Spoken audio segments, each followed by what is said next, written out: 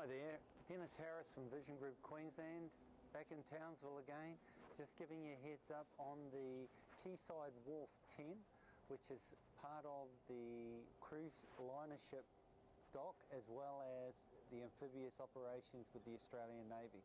So as you can see we've got uh, the rail which is right there and that leads right up into and through the secured area actually directly onto the wharf.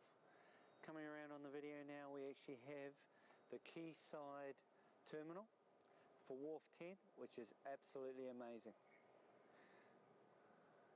Outside we have a very picturesque area with also the memorabilia and the anchor up the top end. And looking out to the left hand side, we look right across the water.